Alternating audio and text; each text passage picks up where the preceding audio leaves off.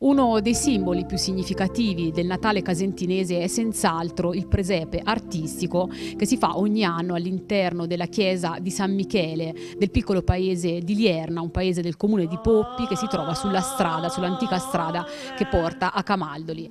A farlo sono alcuni degli abitanti di questo paese, tra cui appunto eh, Piero Cavigli e Gino Orcheriti che sono qui con noi. Eh, Piero, un, uh, dicevamo un presepe storico, un presepe che ha dietro un lavoro notevole, più di un mese di lavoro. La particolarità di quest'anno, il tema che ha dato origine a questo presepe di quest'anno? Il tema di quest'anno si doveva fare eh, ispirato al Medioevo e per l'occasione abbiamo ripreso eh, l'antico castello di Romena che rappresenta un po' la valle de, dell'Arto Casentino. Ci sono delle particolarità eh, in questo presepe di Lierna, molti sono i visitatori anche per questo, per esempio è realizzato con le pietre che vengono da ogni parte del mondo, quindi molto significativo poi quest'anno. Sì, state portate a Gino da varie persone in giro per il mondo, tutte le volte che un, un amico suo va in giro gli dice te cosa vuoi Gino? Portami una pietra e dopo lui la adopera per il presepe. Poi quest'anno è questo simbolo della natività, quindi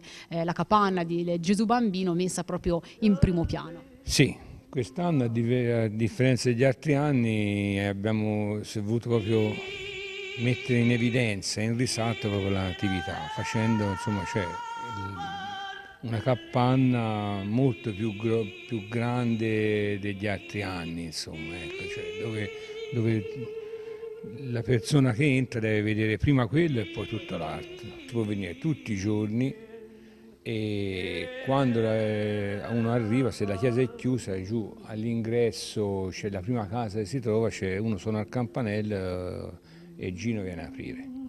Bene, da Dierna, dalla chiesa di San Michele, che è una chiesa del Mille, da una delle chiese più significative del, dei piccoli paesi di montagna del Casentino, noi vi salutiamo e vi auguriamo con eh, Piero Cavigli e con Gino Orcheriti, che sono due degli autori di questo splendido presepe, un sereno Natale.